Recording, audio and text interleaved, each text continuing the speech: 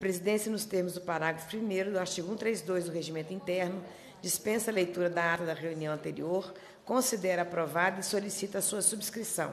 Esta reunião se destina a eleger a vice-presidenta.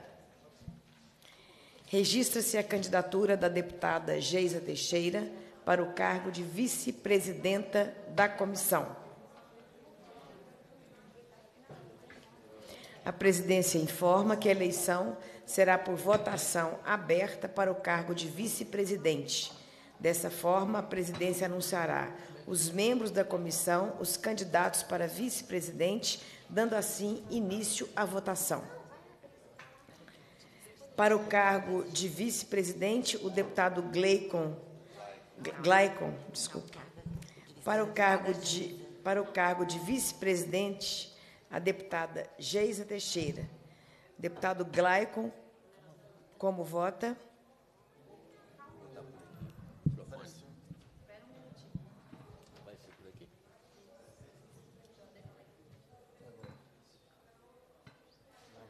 Aqui, ó. Como é que é? Confia. Ué, como que é que passa aqui? Eu já registrei. Ah, confio.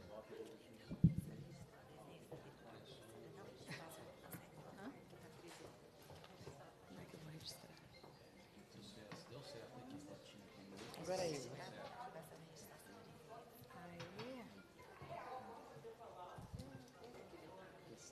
Como é que é? Não tem poder de licença.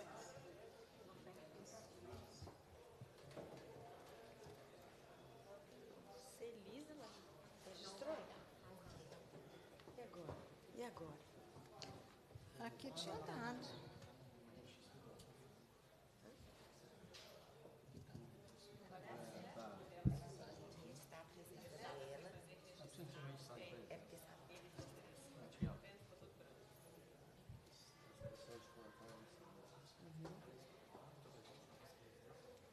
De uma e meia que vai estar escrito. Vai registrar a presença.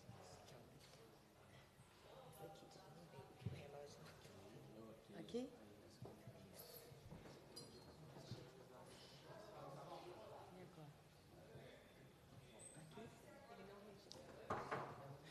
Vamos lá, Geisa. O meu saiu da. Legal, né?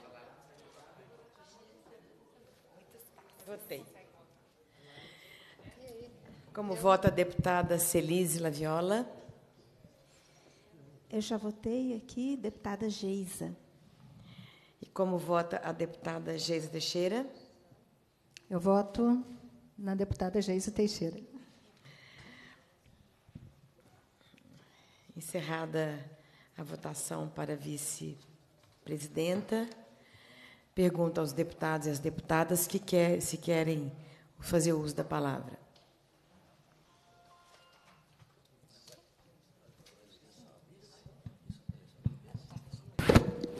Quero cumprimentar a deputada Celise Laviola, nossa presidenta Marília Campos, deputado Glaicon Franco, dizer que é uma alegria muito grande eh, estar sendo eleita a vice-presidente desta comissão tão importante, que nós conquistamos agora por ser eh, uma comissão permanente dos direitos da mulher.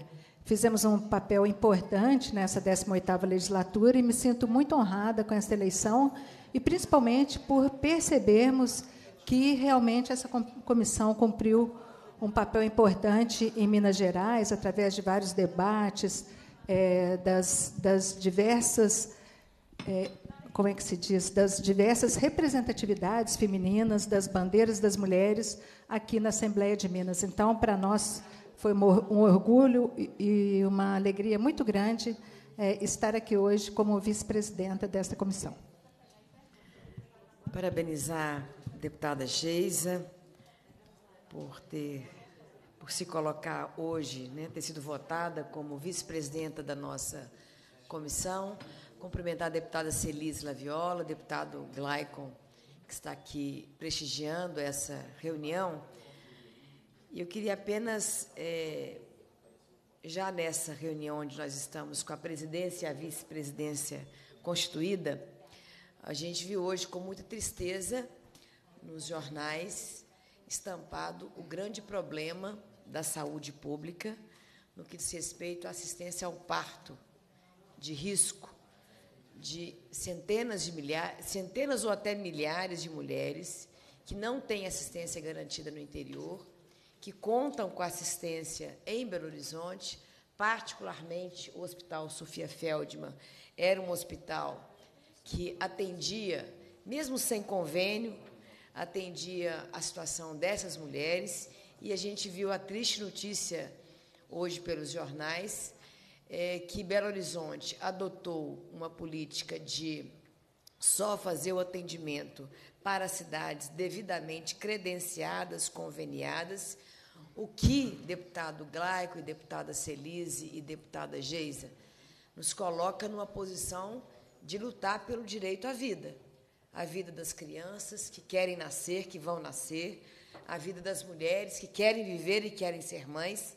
E, nesse sentido, cabe a nós, enquanto Comissão de Mulheres, cobrar uma posição do Estado de Minas Gerais em relação à situação dessas mulheres que procuram Belo Horizonte para ter os seus filhos aqui em BH e certamente terão muito, muitas dificuldades a partir de agora é, para conseguir essa assistência. Então, eu queria sugerir que a gente aprovasse um requerimento é, nos dirigindo à Secretaria de Estado da Saúde, na ordinária. Então, eu já deixo aqui para ser redigido um requerimento para que, é, na próxima reunião da Comissão de Mulheres, a gente solicite um posicionamento e um pedido de providências da Secretaria de Estado no sentido de garantir o atendimento às mulheres que procuram Belo Horizonte para ter os seus filhos, particularmente as mulheres que têm partos de alto risco. Né? Então, essa comissão terá muito papel nessa casa e creio que não só de organizar, de mobilizar, mas de defender os direitos das mulheres do nosso Estado. Então, cumprimento todos que estiveram presentes, todas que estiveram presentes, especialmente o deputado Glaicon, que pôde vir a dar o quórum nessa reunião, seja muito bem-vindo. E, se puder, deputado Glaicon, às quatro horas, nós teremos uma solenidade oficial de lançamento da Comissão Permanente de Mulheres aqui da Assembleia Legislativa. A presidência proclama eleita para vice-presidenta a deputada Geisa, declara empossado como vice-presidente a deputada Geisa Teixeira. Cumprida a finalidade da reunião, a presidência agradece a presença. Indago aos membros dessa comissão se estão de acordo com a fixação do horário das reuniões ordinárias. A proposta é de quarta-feira, às 16 horas. Deputada Geisa? Sim. Oh, deputada Geisa, desculpa. Deputada Celise? Quarta-feira, às 16 horas. Então, horário de reunião ordinária. Nós devemos convocar uma reunião extraordinária para terça-feira para a gente é, apreciar projetos pela primeira vez agora. Essa comissão começará a apreciar projetos.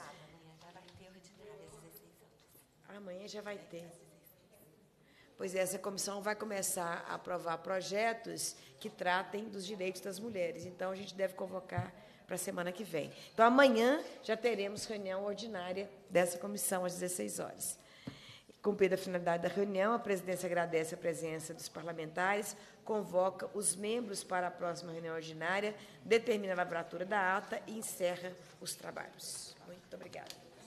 Faz uma foto aqui, faz uma foto.